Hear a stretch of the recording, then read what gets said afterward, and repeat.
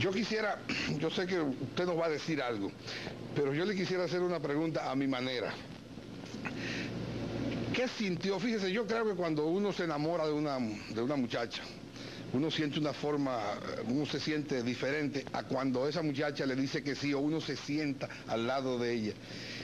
¿Qué sintió Antonio Guzmán Fernández cuando se sentó en esa silla hace cuatro años? Que el pueblo dominicano me había elegido para cumplir con un deber. De modo que encuentro excesivo que se me dé las gracias por haber cumplido con un deber. Yo creo que todo dominicano que se siente en la silla de alfileres, como se decía antes, y que realmente encontré que no tenía alfileres, tiene el deber de ejercer un gobierno como el que yo he pretendido ejercer, quizás no como debía hacerlo, pero sí con todo el deseo de hacerlo.